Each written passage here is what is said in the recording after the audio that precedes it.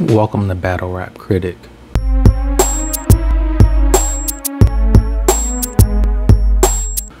Battle Rap Critic is the standard for the best to the worst rap battles. Rap battle reviews, doing predictions, recaps, and interviews. Basically, I'll be doing a rating system, scored a 1 to 5. 1 being bad, 2 being good, 3 being great, 4 being excellent, and 5 being classic. This buys you time if you even want to watch a particular battle. See if you agree or disagree. I've been a long battle rap fan from back in the day day.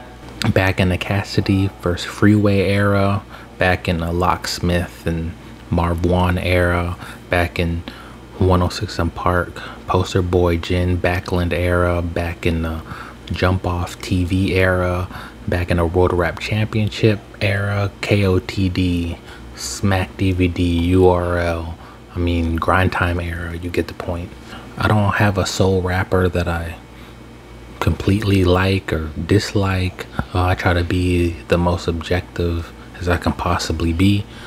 But just like sports, there has to be a winner and a loser. Um, so I'm just giving you my opinion from my perspective. So I hope you like my breakdowns. At the end of the day, I'm a fan. So the battles that I do aren't only gonna be new battles. I'm gonna go back battles that you haven't seen before or ones that you may have forgot that got swept under the rug. So look at me as your trusted source for like rants and different things. Subscribe, hit the like button, leave a comment if you'd agree or disagree.